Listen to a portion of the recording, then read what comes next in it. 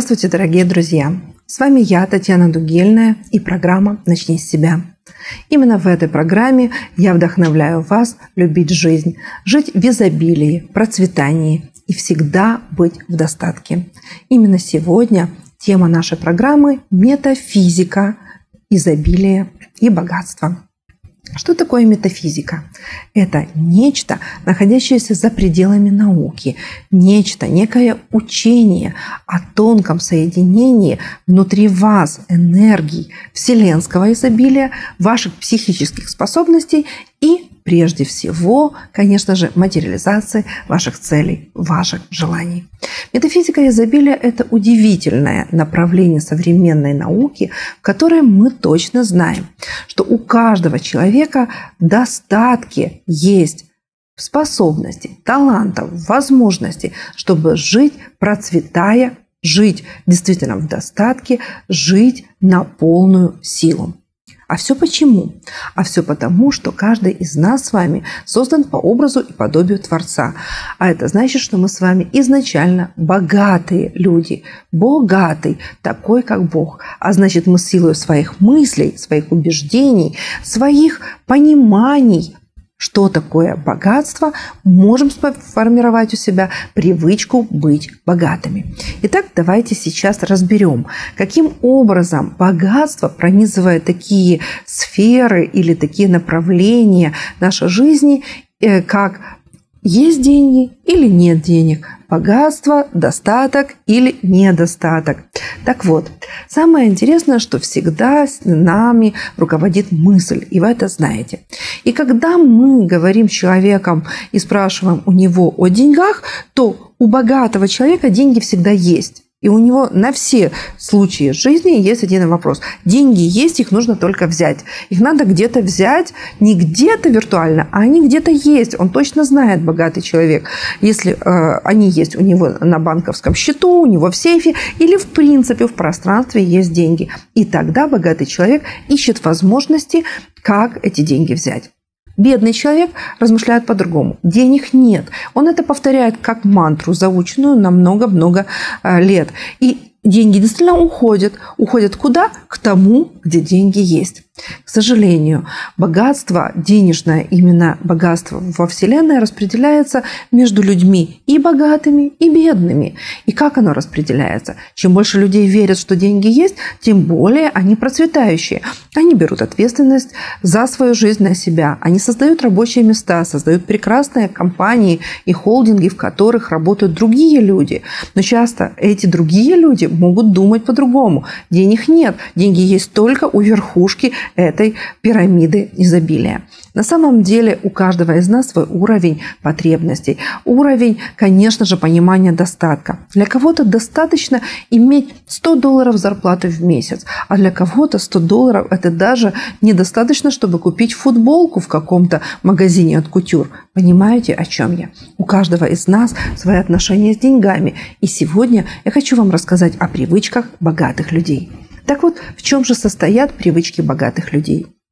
Люди, которые стремятся к изобилию и процветанию, которые хотят носить достойный статус богатый человек или созданный по образу и подобию, значит, умеющий материализовать любые желания, они работают ради цели и работают, зарабатывают ради целей, которые хотят осуществить. Они не думают категориями денег, они думают образами.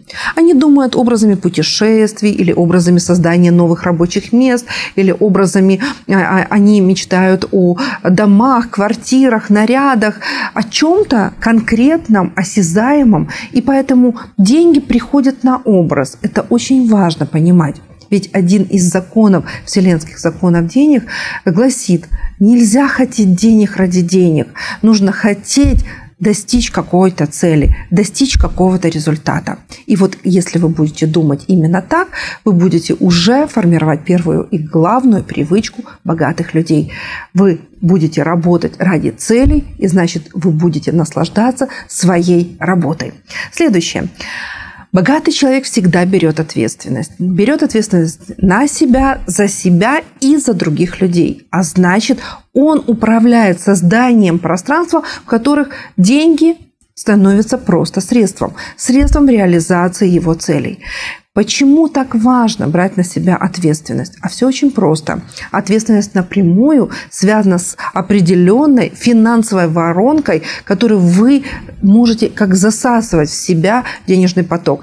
Если у вас маленькая трубочка без ответственности, вот такая малюсенькая, которая пронизывает вас, энергетическая трубочка, вы и не будете брать ответственность. Вы скажете, не-не, это опасно. Я лучше вот здесь, на этой зарплате, вот здесь по найму посижу, выполню все точно по инструкции, никакого креатива, никакой самодеятельности, никакой инициативы.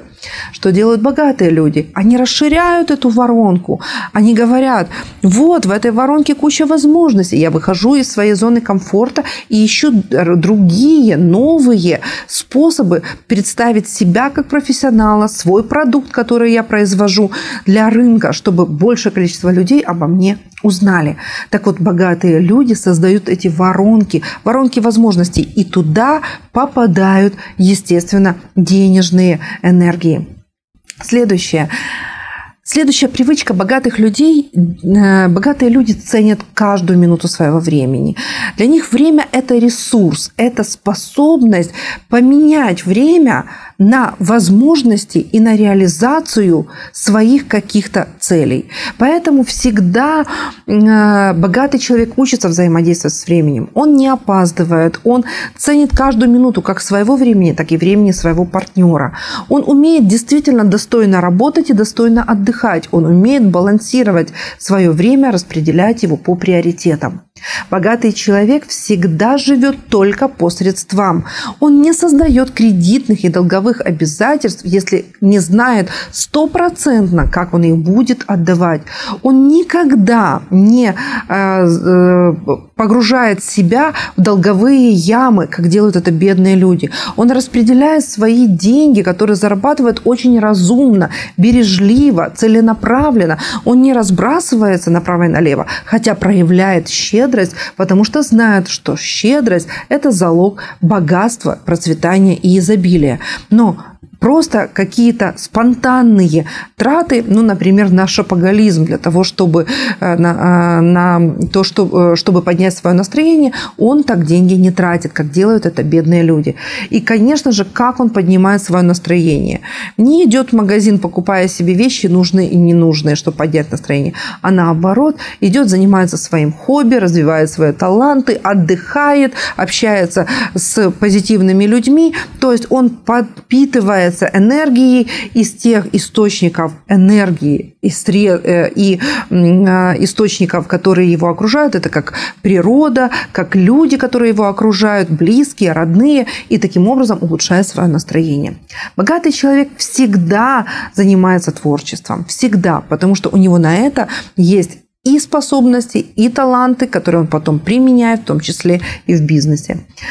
Очень четко можно по вот этому критерию, по вот этой привычке богатого человека и отличием от бедного человека сейчас увидеть, куда вам нужно посмотреть. Так вот, смотрите, что богатые люди умеют радоваться достижениям и успехам других людей. Они всегда, глядя, например, на успешного или богатого другого человека, скажут, это огромный труд – это труд над собой, это труд для других, это труд, и они понимают, что это за труд. Они уважают этот труд.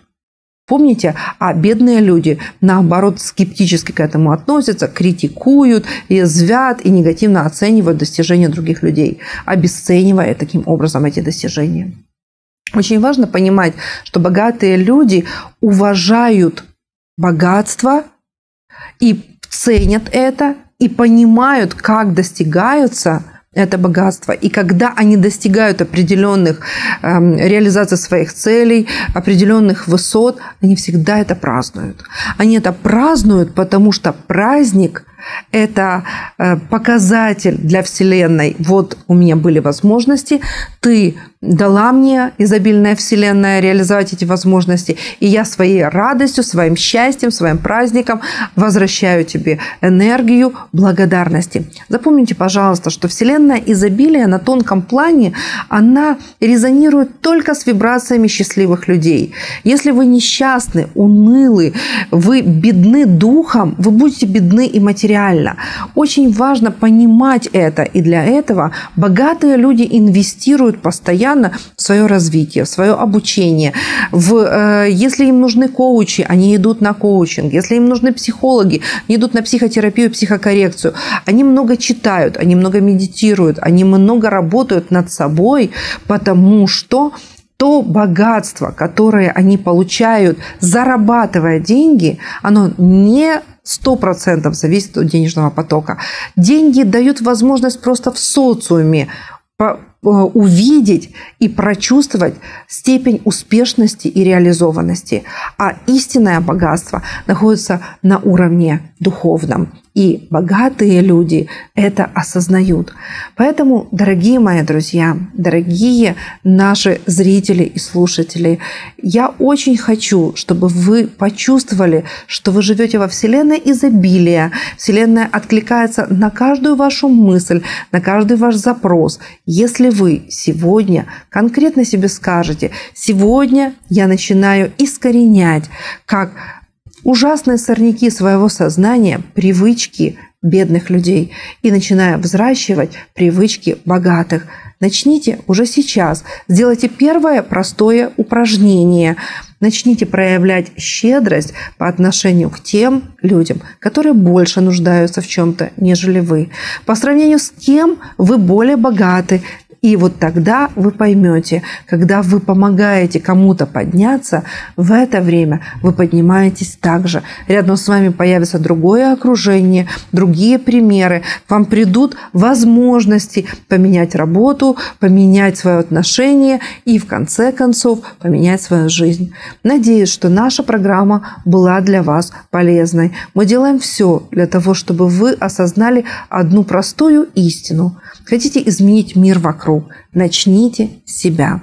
С вами была Татьяна Дугельная. Услышимся и увидимся.